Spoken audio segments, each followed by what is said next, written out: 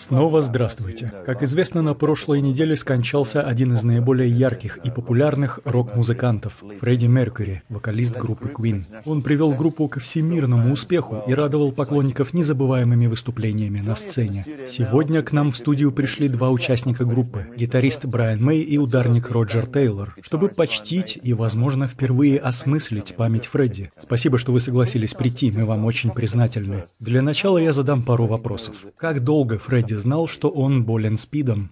Мы вряд ли сможем дать ответ на этот вопрос, так как сами не знаем. Он всегда это скрывал. Мы знали...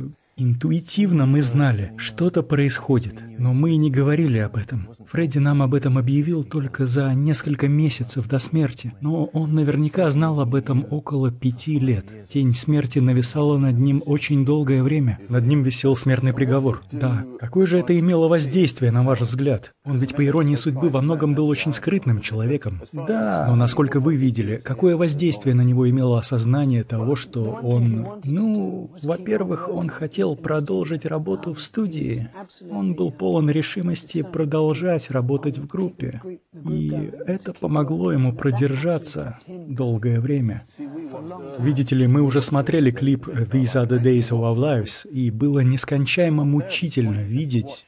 Наверное, для вас это были очень трудные съемки. Это было невероятно трудно. Да, это было трудно, но мы пытались помочь Фредди, поддержать его до конца. И он проявил при этом невероятное мужество. Конечно же, он знал, а в то время и мы знали. Но, знаете, самое лучшее средство — просто продолжать жить и сделать это. И он это сделал, и держался очень храбро. Одной из основных причин вашего прихода на телевидение, и мы вам за это благодарны, явилось то, что комментаторы на все лады высказались по поводу смерти Фредди. Все вдруг стали экспертами по жизни и прошлому Фредди Меркьюри. И на телевидении, и в газетах. В чем они ошиблись и в чем они были правы в своих оценках.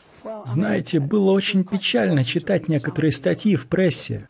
Во-первых, никто его толком не знал, но многие солгали и сказали, что они знали его.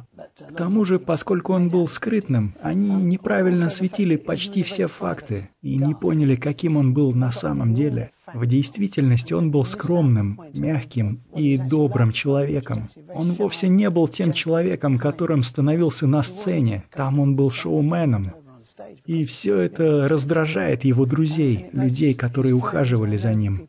Они были очень возмущены, видя, в каком свете его представляют в английской прессе, особенно в бульварной прессе. Я не ошибусь, если скажу, что его изображают в определенном ключе, как безрассудного, распущенного, бисексуального, безответственного любовника. Насколько это было правдой? Особенно это и выводит нас из себя, тот Фредди, которого мы знали, вовсе не был дико распущенным. Он не был наркозависимым или же всем тем, что о нем заявляют люди. Он очень ответственно относился ко всем, кто находился рядом с ним. Он был очень щедрым и заботливым ко всем, кто входил в его жизнь. Большего невозможно было ожидать. Когда он завершал одни отношения и переходил к другим, он всегда был... Он осознавал, какие последствия это имеет для жизни окружающих. Но странным образом не его ли скрыть скрытной натурой объясняются некоторые сенсационные эпитафии, в то время как в реальности он был большим шоуменом на сцене, но крайне скрытным вне сцены, так? Вот именно, никто не мог пробить броню. Многие из бульварных газет просто не верятся. Я прочел на прошлой неделе в Mirror статью, написанную каким-то ненормальным. Это настолько возмутительно. Они выдумали все, так как просто не могли попасть внутрь дома. Последние полтора года его жизни Фредди преследовала пресса, если он оказывался вне дома. Мы все подвергались этим преследованиям до определенной степени. В этой стране это доходит до абсурда. И в последние полтора года своей жизни жизни он был настоящим узником в собственном доме. А вы, вы оба часто были гостями телевидения. Когда-нибудь хотели, чтобы он открыто говорил об этом, чтобы он давал интервью и встречался с прессой? Дало бы это положительный эффект? Не обязательно. Мы не думали, что он согласится, и даже поговорили об этом. Фредди был очень независим. Он очень рано начал самостоятельно принимать решения и делал все так, как он хотел. Мы, конечно, уважали его желания. У всех нас свои привычки, но внутри группы мы уважали воображали, что он сам контролирует свою жизнь. И, конечно же, его отношение к тому, что ему приходилось переносить ближе к концу, было его делом. В каком-то смысле это нам связывало языки. Мы не могли говорить об этом даже с друзьями. Сейчас это в прошлом. Мы можем открыто говорить о том, что мы чувствуем. Интересно, что вы так говорите, так как по вашим словам, особенно по словам Роджера, создается впечатление, что его толком никто не знал. Он был не из тех людей, которых легко было узнать. Ну, мы были близки друг с другом как группа, всегда в течение 22 лет. Но даже мы не знали многого о Фредди, так как он был настоящей загадкой. Однако мы чувствуем себя обязанными защитить его, так как он сам себя уже не защитит. Именно. В этой стране нет ограничений на то, что можно сказать о людях после их смерти, и очень мало ограничений на то, что можно сказать при жизни людей. И я думаю, что одна из вещей, Многие спрашивают, что можно теперь сделать для Фредди. Я полагаю, что, возможно, стоило бы добиваться, чтобы эти законы изменились, и людям не пришлось терпеть Возможно, стоило бы провести биль о защите личных мыслей. Интересно, что государственная информация может находиться под секретом от 25 до 50 лет. Но стоит кого-то похоронить, как на него открывается охотничий сезон. Вы правы, и нет закона, ограничивающего вторжение людей в частную жизнь других людей, даже при их жизни. Во Франции такой закон существует. Там нельзя публиковать детали частной жизни человека без его согласия. Вы пришли сюда так, как полны гнева, а не потому, что захотели рано встать и появиться на Breakfast Television. Вы возмущены, таковы ваши чувства? Частично, потому что мы возмущены, но хотим также объяснить, что мы можем сделать с наследием Фредди. И, кроме того, я полагаю, да, есть многое, что можно сказать. Фредди принял очень важное решение перед смертью — объявить миру о том, что у него был СПИД. Это было смелым и своевременным поступком, так как он дал нам и нашим близким оружие, с помощью которого мы можем говорить о СПИДе. Для него было бы нетрудно указать в свидетельстве о смерти пневмония, он знал об этом, и это опрокинуло бы все. И то, что он объявил о своей болезни и сказал «я болен этой болезнью», и ничего постыдного в этом нет, это очень важно, так как на больных этой болезнью не должны ставить позорное клеймо. Мы не должны смотреть на больных, как на нагрешивших и наказанных за грех. Это должно исчезнуть. Сейчас это проблема каждого человека. Мы еще поговорим позже, ребят. Мне просто нравится одна теория, что же создало этого великолепного шоумена. Это объясняется его персидским происхождением?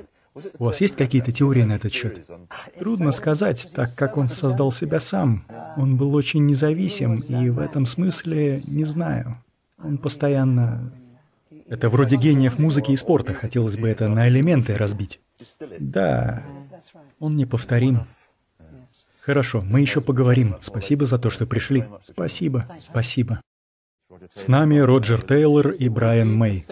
Было бы прискорбно, если бы смерть Фредди Меркьюри осталась только смертью Фредди Меркьюри. Кричащие некрологи на телевидении, в газетах или в других средствах массовой информации. Ведь должно быть что-то еще, как вы думаете? За этим стоит гораздо больше. Есть что сказать миру. Поразительно, когда смотришь это видео, так как он... Та любовь, которую выражали поклонники со всего света в течение последних дней. Его жизнь изменила мир, и теперь, по-моему, его смерть тоже меняет мир. Потому что, во-первых, мы выпускаем эту запись в его память. Мы вновь выпускаем в его честь Bohemian Rhapsody, и все вырученные средства пойдут в благотворительный фонд борьбы со СПИДом Теренс Хиггинс Траст. На самом деле, это пластинка с двумя сторонами А. На другой стороне песня These Are The Days of Our Lives, которую вы показали раньше. Да, эти два видео, наше первое и наше последнее. И слова, они очень созвучны. Если говорить о песне The Show Must Go On, невозможно избавиться от щемящего образа. Это было сделано намеренно? В наших песнях много вещей, которые в ретроспективе оказываются в какой-то степени связанными с тем, что происходило. Песни обычно не повествуют лишь об одном предмете. Во многих песнях существует несколько уровней. Вы сейчас сделали громкое заявление, и я знаю, будут звонить люди, такая уж у людей черта. Они будут говорить, как это, он изменил мир? Мне это заявление кажется чрезмерным. Полагаю, как бы вы защищали вашу позицию? Полагаю, что одним из итогов жизни Фредди может оказаться то, что общественность изменит свое отношение к гомосексуальным людям. Я очень на это надеюсь.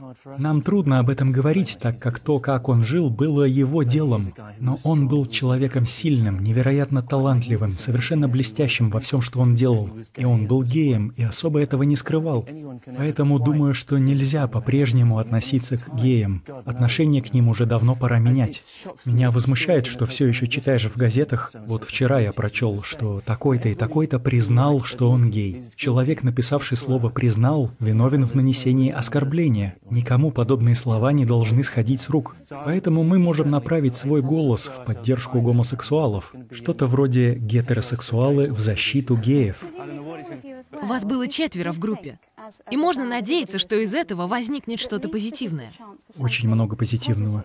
Вы можете сделать так много. Фредди, особенно в последние годы жизни, именно этого и хотел. Он думал, что своим заявлением может обернуть во благо ту ужасную болезнь, которая у него была. И мы собираемся продолжать это дело, собираемся что-нибудь организовать в его честь в следующем году. Какое-нибудь мероприятие, которое принесет пользу и соберет деньги. Трудно представить, что группа Queen будет выступать без своего певца. Невозможно это себе представить. Совершенно. Чем вы сейчас займетесь? Мы еще не решили. Нас абсолютно сразила смерть Фредди. Мы все еще не можем оправиться и осознать нашу потерю. Не думаю, что мы не стали. Решили отложить решение вопроса о том, чем мы будем заниматься. Сначала мы переживем данную ситуацию. Фредди дал нам превосходную платформу для работы, и мы с легкостью можем собрать деньги для борьбы со СПИДом и заставить людей осознать масштаб проблемы. Именно это сейчас и происходит. Вы говорили, что на студии звукозаписи там тоже все отказались от прибыли. Все деньги идут на... EMI тоже отчисляет свою прибыль, поэтому весь доход идет в фонд Терренса Хиггинса. Вы когда-нибудь говорили с Фредди о возможности сделать что-то подобное? Или это воспринималось как нечто само собой разумеющееся? Нам не надо было говорить об этом. Мы просто старались составить ему компанию и облегчить его состояние в последние годы. В студии с нами находится Пол Дэниелс. Вы были поклонником Queen и Фредди Меркьюри? Нет, я не поклонник вообще какой-либо музыки. Я просто занялся магией, как вы занялись музыкой. Поэтому музыка для меня осталась неизвестным измерением.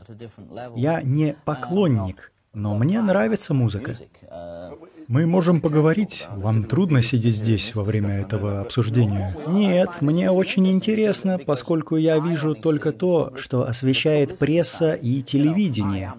Я и есть публика, когда речь заходит о музыкальной индустрии. А что касается Фредди Меркьюри, я за пределами студии говорил с сотрудником EMI, так? Он сказал, что в конце концов победит прессу, которая пишет грязные репортажи. На следующей неделе или около того это прекратится. А затем какой-нибудь экстрасенс войдет в контакт с Фредди Меркьюри и тому подобная ерунда. Да, такую ерунду часто слышишь. Много подобной ерунды. Но качество этого видео неоспоримо. И количество поклонников тоже неоспоримо. С этим тоже не поспоришь. Я надеюсь, его поклонники перестанут покупать газеты, которые печатают всю эту ерунду. Но я все думаю о том, что же составляет человека, отличающегося от других по артистическим качествам. Мы поговорили о гомосексуальности, но меня все не перестает занимать вопрос, каковы истоки Фредди Меркьюри. Как мы говорили ранее, он уникален в своем артистизме, никому не известный. Но нельзя же сказать, что он был творческим человеком только из-за того, что он был гомосексуален. Нет, конечно, это было присуще самому Фредди. Я думаю, что Фредди Меркьюри осознавал, кто он, где он находился, и он создал себя сам, как говорили уже сегодня ребята. Он принадлежал только самому себе и знал, кем хочет стать. Он был очень сильной личностью, оставившей неизгладимый отпечаток на всех, кто окружал его, особенно на нас, конечно же. Вы говорили о разнице между его поведением на сцене и дома. Это интересная особенность людей, которые часто находятся на виду или в музыкальном бизнесе. Вы великий шоумен, когда вы на сцене, с одной стороны. Но затем оставляете это позади, закончив выступление. Это очень здоровый баланс. Сцена, и Пол со мной согласится, это хорошее место, чтобы стать кем-то и отдать все то, что считаешь нужным этой роли. Но затем ты можешь отойти от концерта и стать самим собой. Это чем-то напоминает мне Майкла Джексона, шоумен, перфекционист и одиночка. Вы правы, очень скрытен и к тому же перфекционист. Да, очень предан своему делу. А иначе нельзя. Если вы не преданы своему делу, вы никто, вы ничем не выделяетесь. Вы правы, говоря о том, что происходит вне сцены. Я просто когда-то говорил, что если бы я был такой же в обычной жизни, моя мама наподдала бы мне. Нужен этот разумный баланс. Эй, я простой парень, умею делать фокусы. Фредди умел петь, эти ребята умеют играть. Самое печальное, что у Фредди не было человека, который бы сделал его счастливым. Ну, об этом не сообщается. Он вообще-то умер не в одиночестве. У него были прочные и нежные отношения, к освещению которых люди не готовы. Они все еще твердят, а если мы считаем законными только... Это все чепуха. Когда-нибудь расскажут настоящую историю, но сейчас газеты переполнены всякой маловразумительной чепухой о похоронах и так далее. Но никто не сказал, что там было трое друзей, которые ухаживали за ним до последнего дня. Никто об этом не упоминал. Это утешит поклонников. Они будут знать, что он умер, окруженный близкими. У него был прочный союз, так что все было не так, как об этом рассказывалось. Это глубоко личное дело, мы не имеем права говорить больше. Но многие обрадуются, узнав, что... Не верьте всему этому, ребята. Да, это все неправда. Мы также считаем, что безответственно со стороны некоторых газет называть СПИД модной болезнью. Она не модная, а ужасная. Да уж, это не модная болезнь. Я могу немного поговорить о СПИДе. Люди наконец-то заговорили об этом, но еще раз повторим. Это не болезнь, которой заражаются только геи, наркоманы и люди, ведущие беспорядочную половую жизнь. Сейчас она везде. Совершенно безответственно заявлять, что мы в безопасности, потому что это совершенно не так. Наши дети подвергнутся страшной опасности. Сейчас риску заражения подвергаются женщины, так как болезнь легко передается через гетеросексуальные контакты. Нам впредь нужно соблюдать чрезвычайную осторожность. Любой человек, говорящий, что болезнь где-то там, а мы в безопасности, совершает преступление против остальных.